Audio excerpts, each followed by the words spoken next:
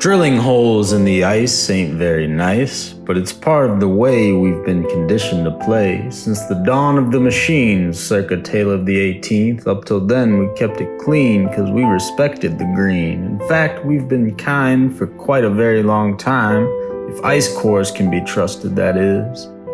Eons flew by without a cry from the sky, and now the planet is burning because we won't stop churning out nonsense.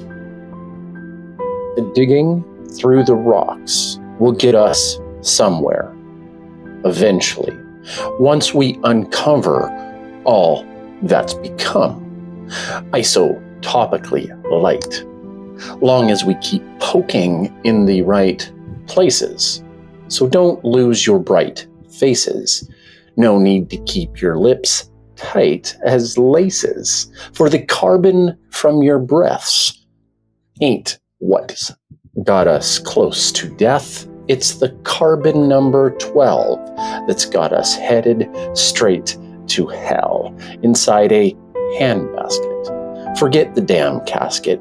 We're killing ourselves and we can't stop laughing.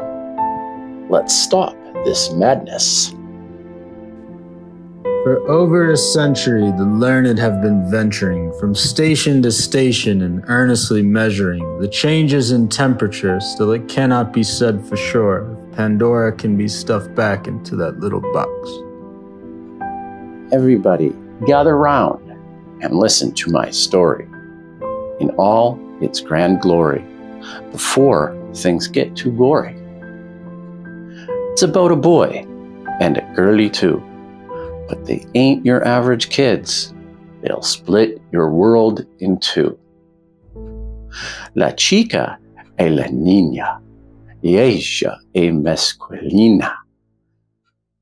She makes it so you've got to wear three coats to sail a boat.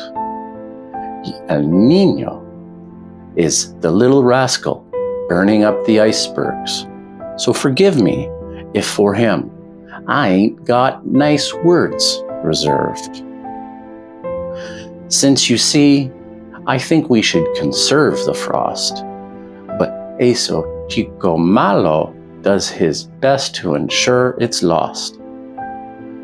And I ain't the one who's boss, but I sure wish I was, cause I'd keep him off the mountains and the hills. Like a fountain, I would spill my force his way to keep feedback loops at bay.